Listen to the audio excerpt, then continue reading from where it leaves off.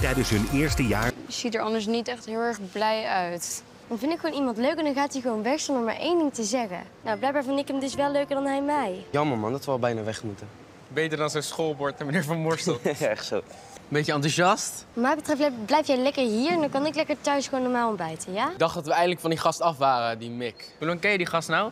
Hou Vijf op, minuutjes? joh. Gadverdamme. Eeuw. Hebt. Wat leuk. Blijkbaar vindt hij mij dan ook wel leuk, toch? Oh, die wil sowieso zoenen, hè? Ik heb straks een belangrijke afspraak.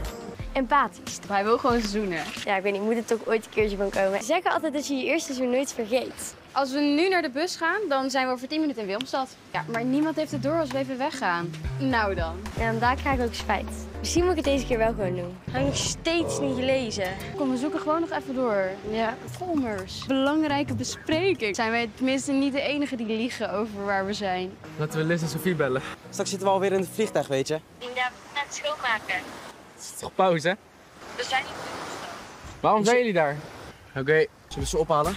Ja. Misschien is hij al lang weg. Ik wil liever wel blijven, want eigenlijk heb ik spijt. En ja. Het is dit voor sneaky gedoe? We kunnen beter teruggaan, hè jongens. Volmer zit niet in een belangrijke bespreking, hoor. Ja, met een berg eten. In zijn eentje. Mick aan het zoeken. Vrij kansloze actie hoor. Ze hebben wel een punt. Als je me echt heel erg graag had willen zien, dan had hij toch ook wel gewoon gezorgd dat zijn telefoon was opgeladen, hè? Hey Sophie, kom! het echt dat ik hem nooit meer zou zien.